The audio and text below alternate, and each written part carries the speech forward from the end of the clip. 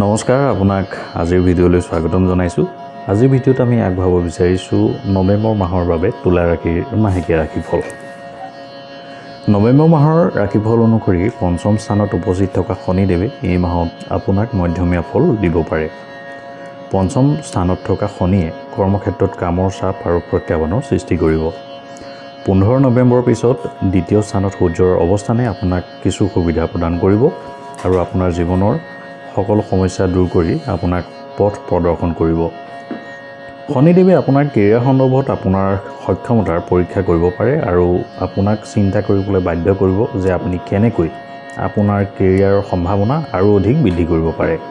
অষ্টম স্থানত বৃহস্পতিৰ উপস্থিতিৰ বাবে চলিত মাহৰ শেষত আপুনি পদোন্নতি পোৱাৰো সম্ভাৱনা আছে। ব্যৱসায় কৰাসকলে ভাল লাভ কৰিব পাৰিব।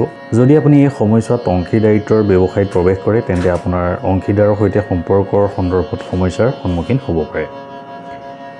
আৰ্থিক ক্ষেত্ৰত আপুনি আপোনাৰ জীৱনত ধনৰ প্ৰৱাহ বৰ এটা সহজ ৰূপত দেখা নাপাব কাৰণ বৃহস্পতি অষ্টম স্থানত থকাৰ বাবে আপোনাৰ খৰচ বৃদ্ধি হোৱাৰ সম্ভাৱনা আছে।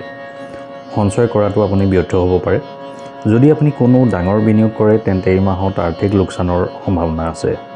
যদি আপুনি ব্যৱসায় কৰে তেন্তে মাহৰ প্ৰথমাৰ্ধত লোকচানৰ সন্মুখীন হ'বলগীয়া হ'ব পাৰে। এই মাহত প্ৰেম আৰু বিবাহিত জীৱন বৰ বেছি ফলপ্ৰসূ নহ'ব কাৰণ বৃহস্পতি আপোনাৰ অষ্টম স্থানত অৱস্থিত যাৰ বাবে আপোনাৰ বাবে সুখ বিচাৰি পোৱাটো সহজ নহ'ব।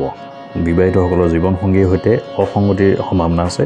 সেয়েহে আপুনি যদি আপোনাৰ সংগীৰ সৈতে আপোনাৰ সম্পৰ্কৰ প্ৰতি অধিক ধৈৰ্য দেখুৱায় আৰু আপোনাৰ সম্পৰ্কৰ নৈতিকতা বজাই ৰাখে তেন্তে সকলো ভাল হ'ব।